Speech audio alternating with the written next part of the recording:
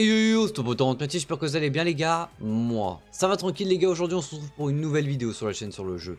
Bleach Bref les gars aujourd'hui, petite vidéo pour vous annoncer le retour de la bannière de la guerre sanglante avec une Oana à l'intérieur les gars. Le 24 novembre, ça arrive, donc c'est-à-dire demain. Faites attention quand même à vos ordres, toujours le dire, faites attention à vos orbes, parce que, ben voilà, tu sais très bien que dans une semaine, il y a bien sûr une bannière de fin de mois. Donc moi je te conseille d'attendre, tu vois, jusqu'à lundi normalement. Lundi 27, je pense, il y aura le reveal, ou le 28 en tout cas, il y aura le reveal des personnages de la bannière de fin de mois. Et après, tu te dis, bon, ok, la bannière de fin de mois, ça m'intéresse pas. Là, je peux invoquer sur la bannière de Unoana. Ok? Donc, euh, je te donne ça comme conseil. Après, t'en fais ce que tu veux comme d'habitude. Ça arrive demain à 8h. Il y en a, je sais, qui vont vouloir le directement invoquer parce que Unohana, c'est vraiment un personnage excellent dans le jeu. Franchement, euh, c'est un de mes personnages préférés, euh, en tout cas féminin dans l'animé. et euh, franchement, Unohana dans le jeu, elle est broken. Elle est vraiment très très forte. Yamamoto, comme j'ai dit, c'est un personnage qui est Bref Battle. C'est un des top persos Bref Battle. Et Shojiro, c'est un personnage Popo, super Popo, que j'ai beaucoup utilisé pendant la quête coopérative des 8 ans. Parce qu'il il y avait Chojiro en bonus et en plus de bonus Popo, bah, tu, l'utilises direct. Et euh, le personnage, il est vraiment très très bon. Donc ensuite, les gars, on va regarder directement la bannière. Je sais pas si je l'ai dit, mais les petits pouces bleus, les petits commentaires pour le retour de Unoana. Dites-moi si vous allez invoquer ou pas. Moi, personnellement, je ne vais pas invoquer. Le pourquoi du comment, je l'ai déjà FT. Hein, donc euh, ça sert à rien que j'aille sur la bannière et que j'utilise des, des pour un personnage Brave Battle ou un personnage Popo ou Super Popo.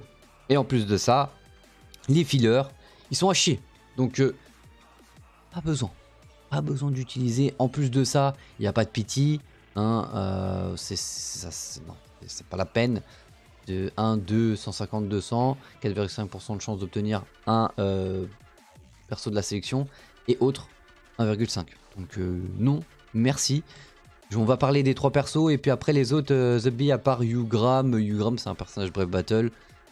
Il peut se jouer à la rigueur encore un tout petit peu aujourd'hui, mais ça s'est essoufflé de ouf, donc euh, moi je parlais de trois persos. Du coup, alors, Monsieur Yamamoto, guerre sanglante, 2000 ans, 2023, c'est un personnage Shingami capitaine, personnage nature, aucun tour de capitaine, dégâts subis moins 20%, rapidité plus 1, résistance à la paralysie 100%, garde résistance rouge annulée, attaque normale déchaînée plus 2, bloqueur euh, d'aucune catégorie instinct, équilibre, invincibilité battle seulement, barrière ignorée, pénétration d'invincibilité battle seulement, extinction lorsqu'un ennemi est battu, battle seulement, résistance aux dégâts plus 50%, l'endurance est à moitié. Bref, tu as compris que le personnage là est orienté bref battle. Donc après, c'est comme d'habitude. Bien sûr, si tu l'as, et eh bah let's go. Comme ça, tu mets directement dans ta team en bref battle. Et euh, puis après, bah tu, Hein, si tu l'as SP1, SP2, je te conseille de le monter comme ça en Brave Battle, t'es tranquille. Mais euh, voilà, c'est un personnage Brave Battle. Euh, moi, personnellement, quand j'ai invoqué, c'est pas lui que je voulais. Hein, je vous le dis, moi je voulais que une Ohana et à la rigueur peut-être une fois Shojiro. Hein, donc euh, après les autres, surtout lui là, non, non, non merci. Si Yamato, je le respecte, je kiffe, tu vois. Mais les modes Brave Battle, ça m'intéresse. Franchement, je sais pas s'il y a encore des gens qui, qui s'intéresse. Là, j'étais, euh, euh, je crois j'étais lieutenant 9, euh, un truc comme ça. Là, je suis repassé lieutenant 6. Mais franchement, je sais pas, faudrait. À la rigueur, faudrait des, récompenses vraiment exceptionnelles. Je sais pas, moi, 20, 20 tickets Bref Souls, un truc qui donne vraiment envie, mais sans plus. Voilà. Ensuite, sachant que moi, en plus, ma team Bref Battle, elle est déjà, elle est déjà très très bien. Franchement, j'ai pas de problème en Bref Battle. J'ai des persos qui sont Sp4, euh, j'ai Ewatch, Kuryu et euh, je crois que c'est Kenpachi Safui que j'ai eu aussi. Donc euh, franchement, Sp3 aussi. Donc elle est excellente ma team. Unohana, voilà, là par contre on parle. Là c'est un personnage pression spirituelle Tur, Shingami Tur, capitaine. N'oubliez pas les gars, bien sûr, le pourquoi du comment, elle est forte. Elle a déjà un double sous le trait, alors que c'est pas un personnage résu. Donc déjà ça c'est très très fort. Sachant que moi, je l'ai FT en plus. Donc ça veut dire que j'ai un perso FT récent avec euh, double sous le trait de, base. C'est vraiment très fort. en plus, dégâts d'attaque puissante, temps de recharge d'attaque puissante, ok, classique. Rapidité plus 2, régénération de 20% de l'endurance de l'équipe à chaque nouvelle zone. Temps de recharge d'attaque puissante moins 6% lorsque l'endurance est au maximum. Tu fais plus de dégâts, enfin tu régènes.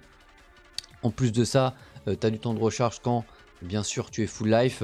Ensuite, dégâts plus 2% par ennemi battu, ça c'est vraiment très très fort. Plus tu euh, tues des mobs, plus tu fais de dégâts, hein. donc euh, trop trop fort. Dégâts plus 20% lorsque l'endurance est au maximum.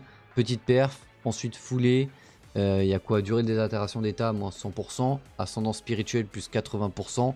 Attaque puissante déchaînée, plus 2. Et euh, si je ne dis pas n'importe quoi, euh, elle utilise le piège. Donc c'est une grosse zone. Et en gros, ça fait full altération d'état et tu fais énormément de dégâts. Donc vraiment, personnage très très très très fort. si vous l'avez monté là direct T20 sans réfléchir, elle va vous être utile. C'est sûr et certain. Et elle est excellente. Elle est excellente, vraiment, de fou. Ensuite, pour finir, Shojiro, version euh, Guerre sanglante de Milan. Nigami tueur de euh, Kunchi. C'était un personnage pression spirituelle.